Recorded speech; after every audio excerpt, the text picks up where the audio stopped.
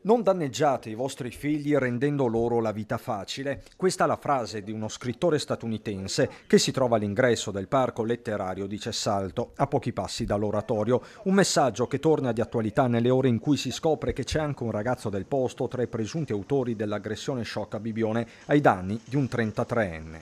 Oggi dobbiamo interrogarci perché li danneggiamo. Li danneggiamo perché, poverino, è un ragazzo.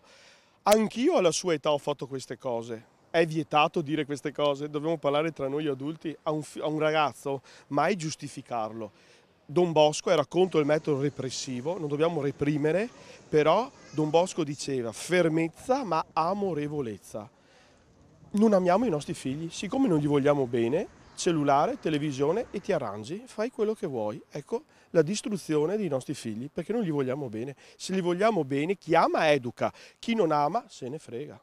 Parole forti quelle di Don Mauro, pronto a incontrare il ragazzo e i suoi familiari, così come il sindaco.